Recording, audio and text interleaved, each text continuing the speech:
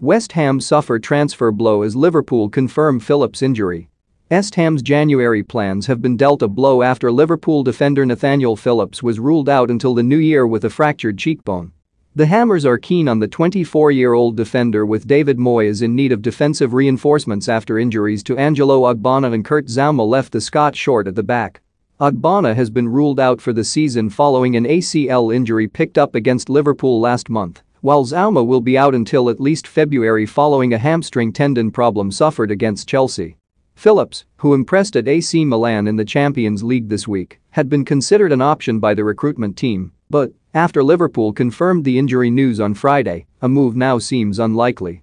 In a club statement, the Reds said, Liverpool are set to be without the services of Nathaniel Phillips for a number of weeks after the defender sustained a fracture to his cheekbone. The centre-back picked up the issue during Tuesday's 2-1 victory over AC Milan at San Siro in a challenge. Further diagnosis by the club's medical team has confirmed a fracture, though Phillips does not require surgery. He is likely to return to action in the new year, though will be able to continue with a bespoke training plan until then. Burnley defender James Tarkowski, who will face West